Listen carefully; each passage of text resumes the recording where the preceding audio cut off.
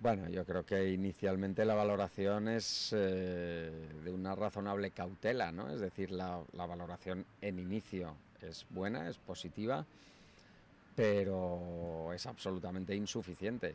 Eh, esto, el momento, hay determinadas cuestiones que le confieren un poco unas características que, que, en mi caso, de un modo personal, nos hacen dudar. Es decir, el momento a 20 días o 25 días de un proceso electoral, en un momento en el que, que decir, aquí no se ha producido el que la banda eh, terrorista eh, haya llegado a un punto en el que haya considerado mm, la posibilidad de defender desde la vía democrática sus posiciones y su ideología, sino que eh, lo que entendemos es que a causa de la presión policial, de la presión judicial, de su situación económica, eh, de un proceso electoral dentro de 25 días, pues evidentemente eh, este era el momento más oportuno para hacer este, este, lanzar este comunicado. ¿no? Yo creo que quizá si esto se hubiera producido el día 21 de noviembre, pues quizá algo más de credibilidad hubiera tenido.